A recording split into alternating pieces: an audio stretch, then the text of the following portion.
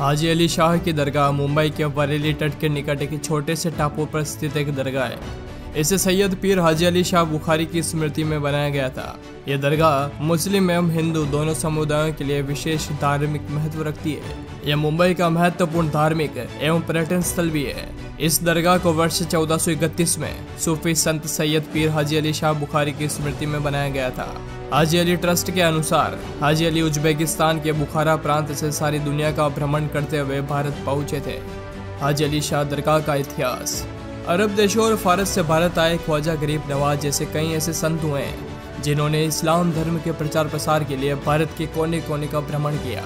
कहा जाता है कि ये संत फकीर तभी भारत आए जब उन्हें खुद लगा या फिर पैगंबर मोहम्मद का निर्देश मिला। सूफी संतों ने भारत में बसकर इस्लाम धर्म का प्रचार प्रसार किया। ऐसे ही एक संत थे, पीर हाजी अली शाह बुखारी, जो ईरान से भारत आए थे। मुसलमानों का विश्वास है कि खुदा की राह में जिन सूफी संतों ने अपना जीवन समर्पित कर दिया और जान कुर्बान कर दी। वे अमर है और उनका दर्जा शहीद का है और उन्हें शहादत हुक्मी कहा जाता है। पीर हजी अली शाह बुखारी के समय और उनकी मौत के बाद कई चमत्कारी घटनाएँ होने की बात की जाती है। पीर हाजी अली शाह ने शादी नहीं की थी और उनके बारे में जो कुछ मालूम चला है, वो दरगाह के ट्रस्टी और पीढ़ी दर पीढ़ी से सुने जा रहे किस्सों से ही पता चलता है। आखिर क्यों नहीं डूबती हाजी अली शाह की दरगाह?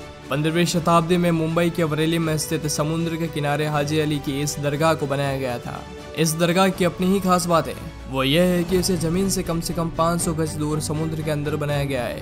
इस दरगाह तक पहुँचने के लिए लोगों को लंबा रास्ता तय करना पड़ता है, जिनके लिए यहाँ पुल बना हुआ है, जो कि सीमेंट से निर्मित है।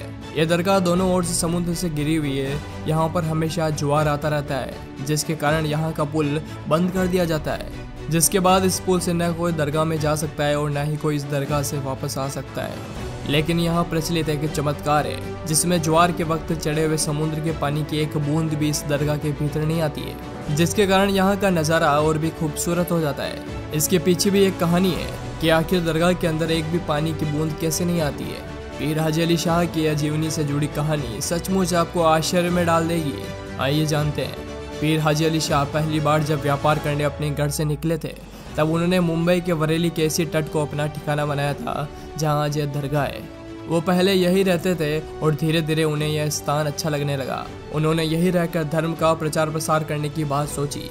इसी मकसद के साथ उन्होंने अपनी माँ को खत लिखकर इसकी जानकारी दी और अपनी सारी संपत्ति गरीबों में बांटकर धर्म का प्रचार प्रसार करने लगे थे। हाजी अली, सबसे पहले हज की यात्रा पर गए, लेकिन इस यात्रा के दौरान उनकी मौत हो गई। मरने से पहले उन्होंने अपनी अंतिम इच्छा जताई कि मरने के बाद उन्हें दफनाया न जाए, बल्कि उनके कफन को समुद्र में ही डाल दिया जाए। लोगों ने उनकी इस इच्छा को पूरा किया और उनके ताबूत को अरब सागर में डाल दिया। लेकिन उनका ताबूत अरब सागर में होता हुआ मुंबई की उसी जगह पर आकर रुक गया, जहाँ वो पहले रहते थे। जहाँ उनका ताबूत रुका, आज उसी जगह पर वर्ष चौदह में उनकी याद में दरगाह बनाई गई थी। खास बात यह है कि तेज ज्वार आने के बावजूद भी इस दरगाह के भीतर पानी की एक बूंद भी नहीं जाती है। आज यह दरगाह टापू के 4,500 वर्ग किलोमीटर के क्षेत्र में फैली हुई है।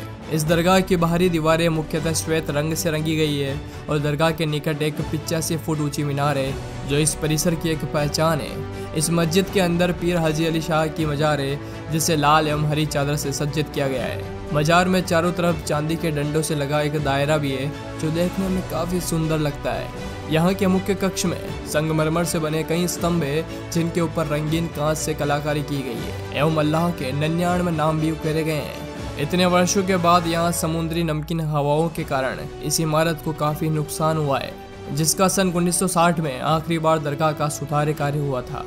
दोस्तों, आज के इस एपिसोड में बस इतना ही। अगर वीडियो पसंद आए तो ज़रूर से लाइक करें। और अपने इस हिस्ट्री चैनल को सब्सक्राइब करें और दबाएँ इस बेल आइकन को, ताकि आने वाली वीडियोस का अपडेट आपको मिलता रहे। धन्यवाद।